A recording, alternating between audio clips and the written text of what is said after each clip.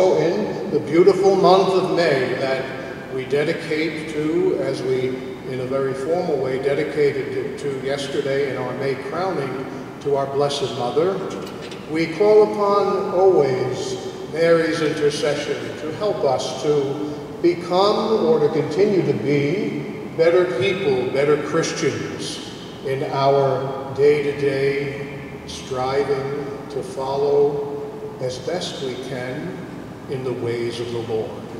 And for any times when we might have failed out of human weakness in doing so, we ask the Lord for his mercy and forgiveness. Lord Jesus, you have shown us the way to the Father. Lord, have mercy. Lord, have mercy. Lord Jesus, you are Son of God and Son of Mary. Christ, have mercy. Christ, have mercy. Lord Jesus, you are the Good Shepherd leading us into everlasting life. Lord, have mercy. Lord, have mercy. May Almighty God have mercy on us, forgive us our sins, and bring us to everlasting life. Amen. Let us pray. O God, perfect light of the blessed, by whose gift we celebrate the paschal mysteries on earth, bring us to rejoice in the full measure of your grace for ages unending, through our Lord Jesus Christ, your Son, who lives and reigns with you in the unity of the Holy Spirit, one God forever and ever. Amen.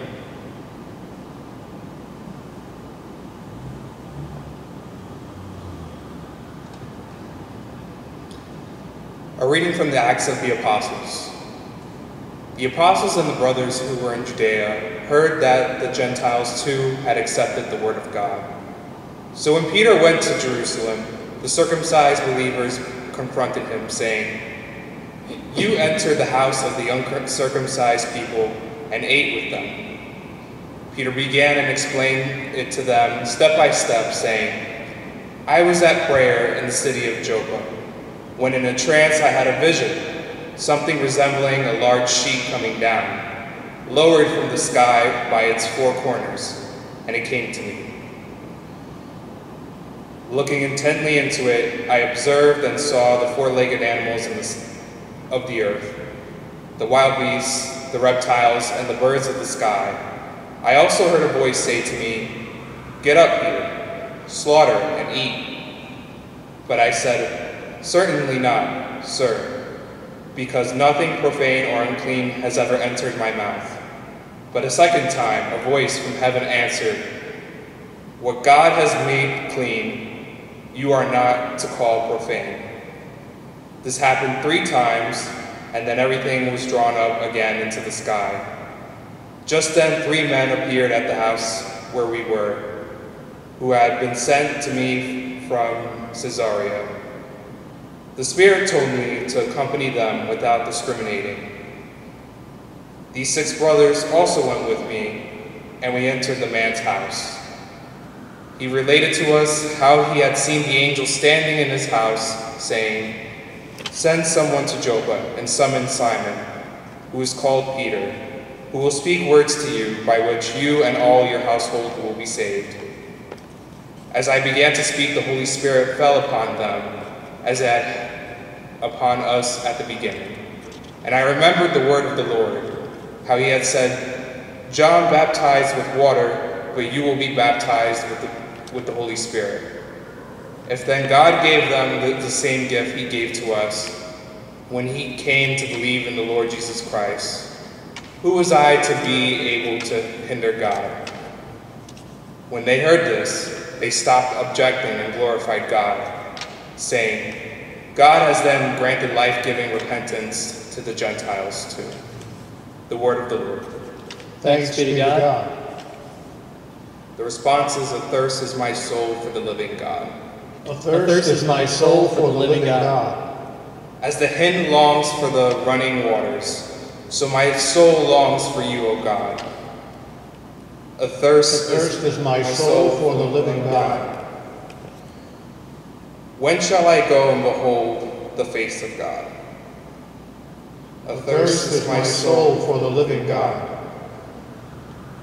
Send forth your light and your fidelity. They shall lead me on and bring me to your holy mountain, to your dwelling. Dwelling place, I'm sorry. Athirst is my soul for the living God. Then I will go into the altar of God, the God of my gladness and joy. Then I will give you thanks upon the harp. O God, my God, athirst is my soul for the living God.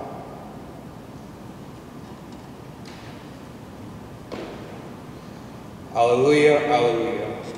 Alleluia, alleluia. I am the good shepherd, says the Lord. I know my sheep, and mine know me. Alleluia, hallelujah.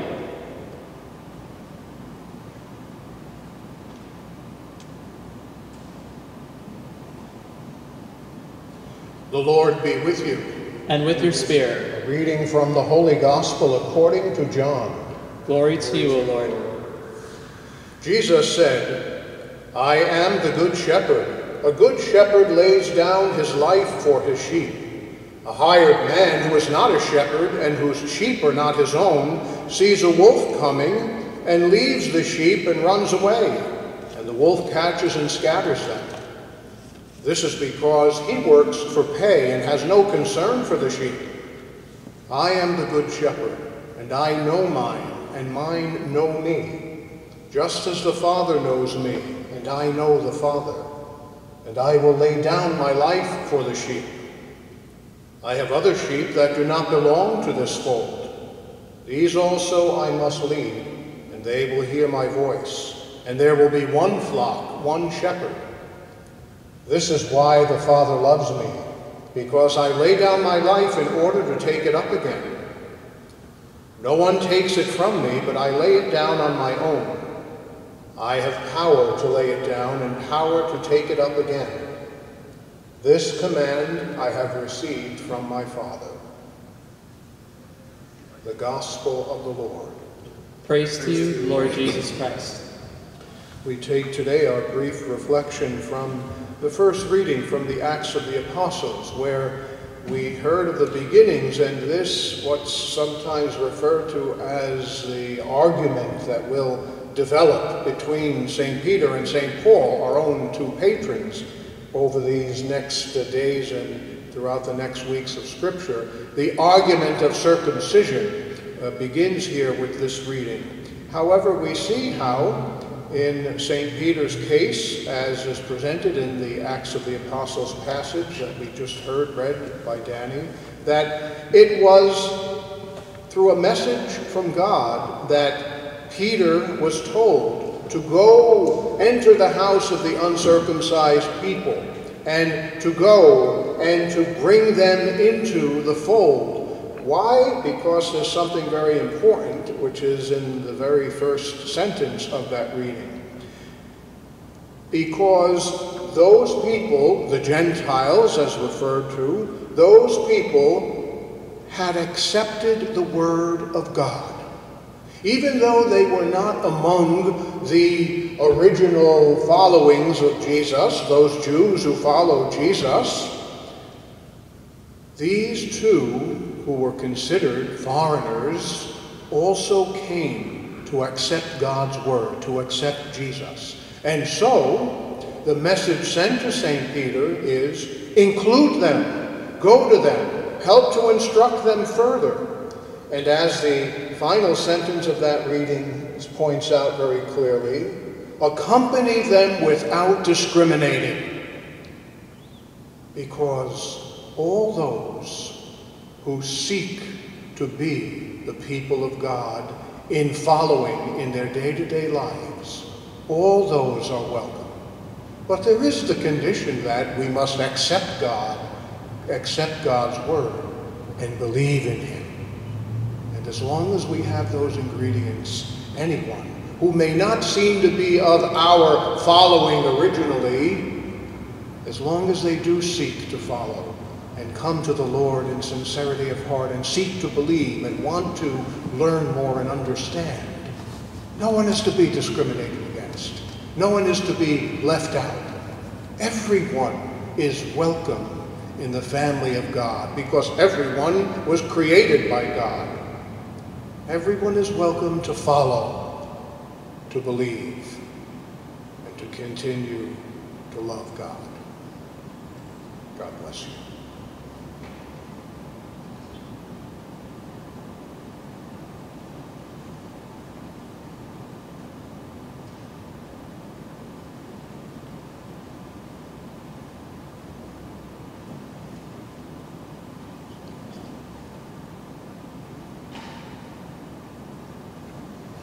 The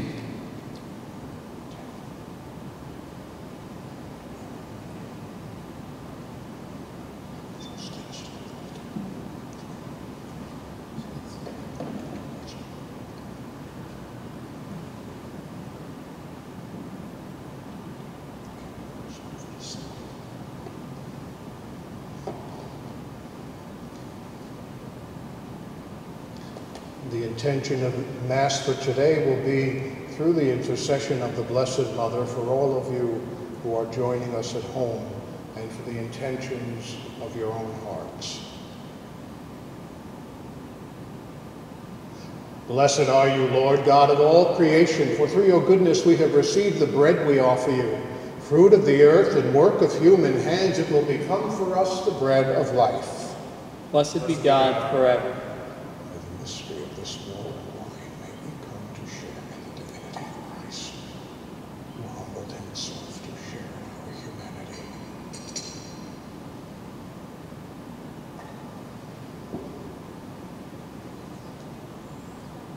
Blessed are you, Lord God of all creation, for through your goodness we have received the wine we offer you. Fruit of the vine and work of human hands, it will become our spiritual drink. Blessed be God forever.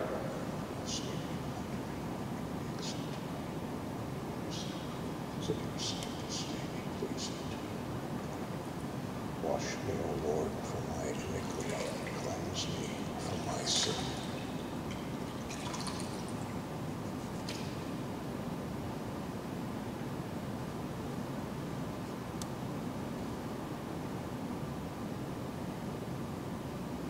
Pray that my sacrifice and yours may be acceptable to God, the Almighty Father. May the Lord accept the sacrifice at your hands for the praise and the glory of his name, for our good and good of all his holy church. Receive, O Lord, these offerings of your exultant church, and as you have given her cause for such great gladness, grant also that the gifts we bring may bear fruit in perpetual happiness through Christ our Lord. Amen. The Lord be with you. And with your spirit, Lift up your hearts. we lift them up to the Lord. Let us give thanks to the Lord our God. It is right and just, It is truly right and just, our duty and our salvation at all times to acclaim you, O Lord, but in this time above all to laud you yet more gloriously when Christ our Passover has been sacrificed. For with the old order destroyed, a universe cast down is renewed, and integrity of life is restored to us in Christ. Therefore, overcome with paschal joy, every land, every people exults in your praise, and even the heavenly powers with the angelic hosts sing together the unending hymn of your glory as they acclaim, Holy, holy, holy, Lord God of hosts. Heaven and earth are full of your glory. Hosanna in the highest. Blessed is he who comes in the name of the Lord. Hosanna in the highest. You are indeed holy, O Lord, the fount of all holiness. Make holy, therefore, these gifts, we pray, by sending down your Spirit upon them like the dewfall, so that they may become for us the body and blood of our Lord Jesus Christ. At the time he was betrayed and entered willingly into his passion, he took bread, and giving thanks, broke it, and gave it to his disciples, saying, Take this, all of you, and eat of it, for this is my body, which will be given up for you.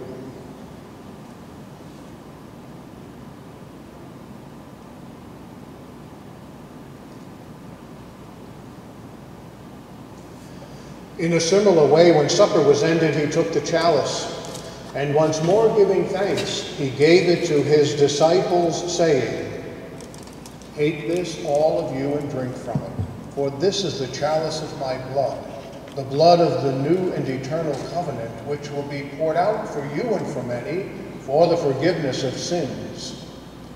Do this in memory of me.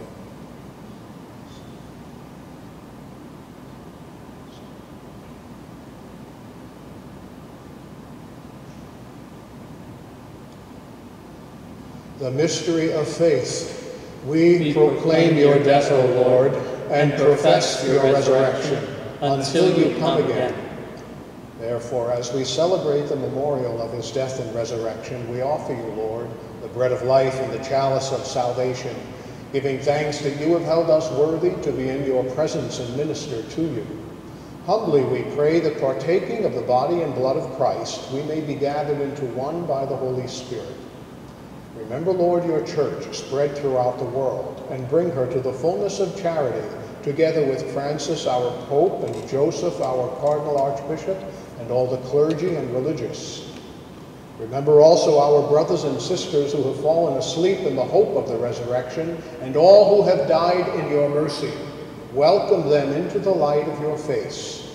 Have mercy on us all, we pray, that with the Blessed Virgin Mary, Mother of God, with blessed Joseph, her spouse, with the blessed apostles, Saints Peter and Paul, and all the saints who have pleased you throughout the ages, we may merit to be co-heirs to eternal life, and may praise and glorify you through your Son, Jesus Christ. Through him and with him and in him, O God Almighty Father, in the unity of the Holy Spirit, all glory and honor is yours forever and ever. Amen. At the Savior's command, and informed by divine teaching, we dare to say, Our, Our Father, who art in heaven, hallowed be thy name. Thy kingdom come, thy will be done, on earth as it is in heaven. Give us this day our daily bread, and forgive us our trespasses, as we forgive those who trespass against us. And lead us not into temptation, but deliver us from evil. Deliver us, Lord, we pray, from every evil. Graciously grant peace in our days, that by the help of your mercy we may be always free from sin and safe from all distress, as we await the blessed hope and the coming of our Savior Jesus Christ. For the kingdom, and the power, and the glory are yours, now and forever. Lord Jesus Christ, who said to your apostles, Peace I leave you, my peace I give you, look not on our sins, but on the faith of your church, and graciously grant her peace and unity in accordance with your will, who live and reign forever and ever. Amen. Peace of the Lord be with you always. And with your spirit, Let us offer each other a sign of peace.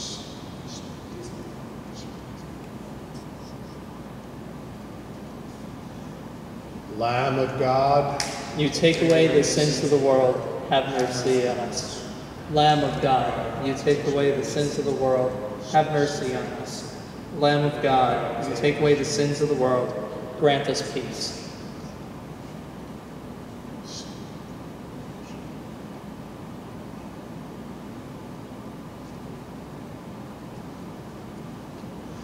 Behold the Lamb of God.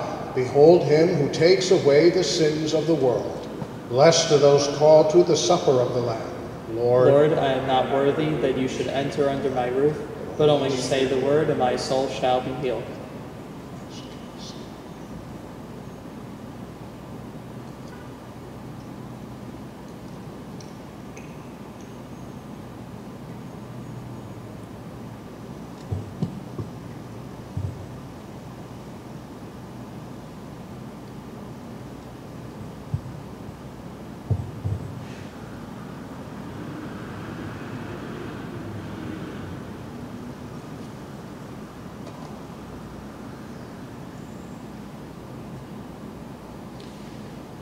Those of you who are joining us from home or any others who are not receiving communion physically, we now pray for and with you the spiritual communion prayer. As you develop in your heart the ardent desire to receive the Blessed Sacrament. My Jesus, I believe that you are truly present in the most blessed sacrament. I love you above all things, and I desire to possess you within my soul. Since I am unable at this moment to receive you sacramentally, come at least spiritually into my heart. I embrace you as being already there and unite myself wholly to you. Never permit me to be separated from you. Amen.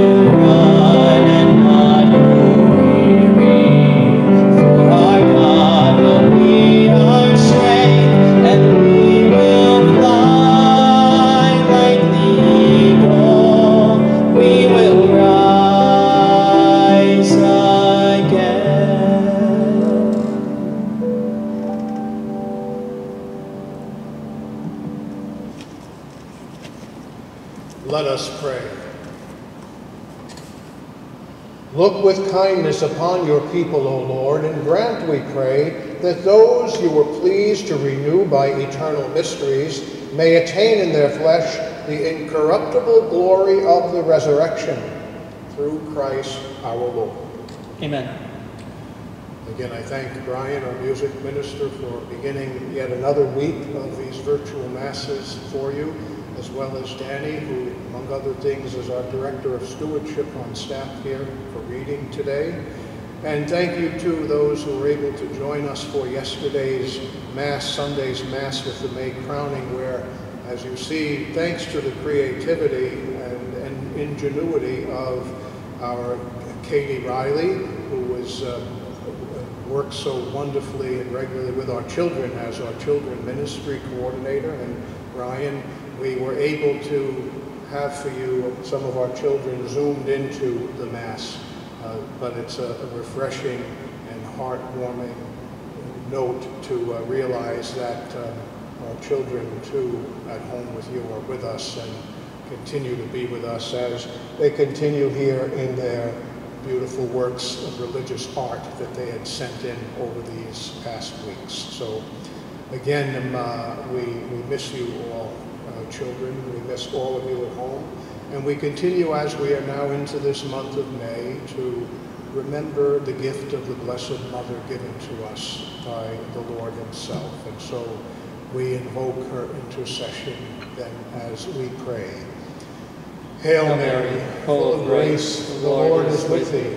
Blessed art thou among women, and blessed is the fruit of thy womb, Jesus. Holy Mary, Mother of God, pray for us sinners, now and at the hour of our death. Amen. The Lord be with you. And with your spirit. May Almighty God bless you, the Father, and the Son, and the Holy Spirit. Amen. Let us abide in peace. Thanks be to God.